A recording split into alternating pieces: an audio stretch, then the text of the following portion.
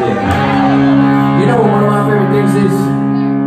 When you go to court, this district attorney's trying to come for you, but they ain't got shit on you, and you know it, and you're like, you ain't got shit, motherfucker. Fuck you.